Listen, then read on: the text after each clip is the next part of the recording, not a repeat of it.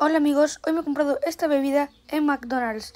La vamos a probar, se llama Creamy Shake y la vamos a probar. Ah, pues no está mal. ¿Pero qué ha pasado? Muy recomendada por los médicos.